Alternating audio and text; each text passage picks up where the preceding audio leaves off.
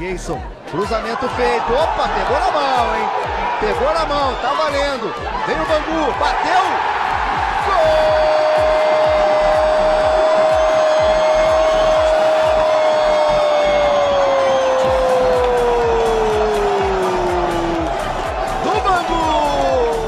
Lucas Crispim, entregou pro Bruno Leonardo. E vai embora o Santos e o segundo gol tá pintando. Passe pro Gregory, invadiu, rolou, é pro Yaya!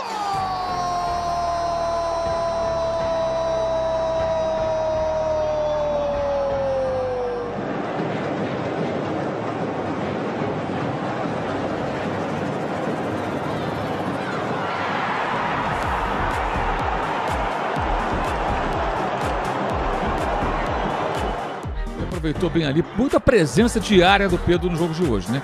Quase fez um gol de peito, essa bola agora que sobrou, jogada em velocidade no primeiro gol, ele foi lá e, e conferiu, se apresentando, tabelando com o Luiz Araújo. Rasteiro pro meio da pequena área e foi travado. E aí a Banhoro domina. Fala mais atrás agora no Saulo. A da goleada. A garotada entrou com vontade, hein? É. O Mauro disse tem uma parcela da torcida do Flamengo, tem uma parcela da torcida rubro-negra. E é bem exigente. 40 e meio da segunda etapa. É. Faz o passe de lado. Valnei um pouquinho mais atrás, preferiu a inversão, a equipe do Bangu. Acionando. Chegada pelo lado direito, Yaya Banhoro levantou na boca do gol. Deu por dentro.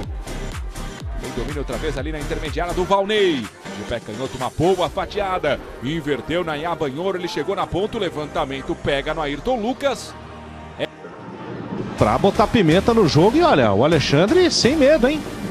Não sei se exatamente foi. Deve ter sido uma mudança por tática e não por lesão. Ó o Bangu, ó o cara aí. Yaya na inversão, na área, tira a defesa da portuguesa, já na pri... Olha a boa jogada aqui dos zagueiros trabalhando, o Renatinho também fazendo a mesma função, né? O camisa 8, curiosamente, do Bangu também. Bola na esquerda, não.